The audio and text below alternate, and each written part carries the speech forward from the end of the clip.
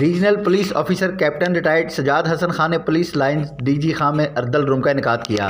अर्दल room में तमाम इजलास अफसरान और एहलकारान अपीलों की समात के सिलसिले में पेश हुए। आर पी ओ का कहना था कि पुलिस अफसरान पेशा वराना अमूर की अदायगी, ईमानदारी और फर्शनासी से करें। इस बारे में मजीद जानते हैं सरदार गौहर खां वडानी की रिपोर्ट में।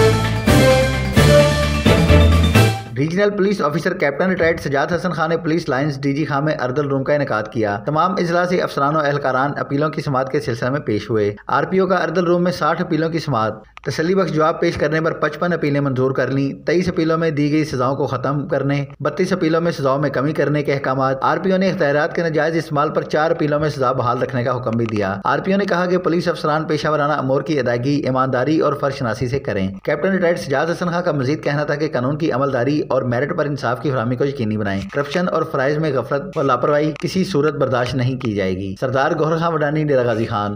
सरदार गौर खां वडानी, नुमाइंदा A R G news Dera Ghazi Khan.